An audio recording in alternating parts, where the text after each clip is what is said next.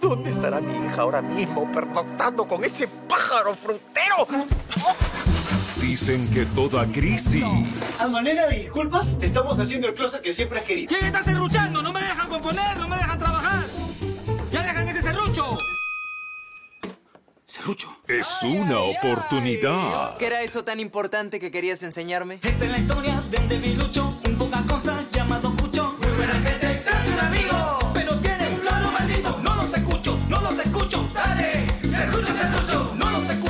los escucho. Dale. Al fondo hay sitio. Hoy a las 8 y 40 de la noche en América.